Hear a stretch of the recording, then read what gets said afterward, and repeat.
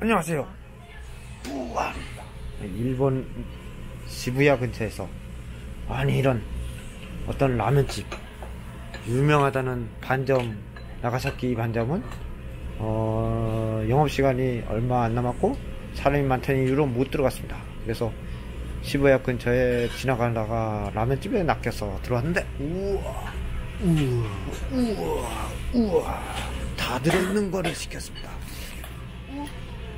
맛을 맛보는 건 조금 있다가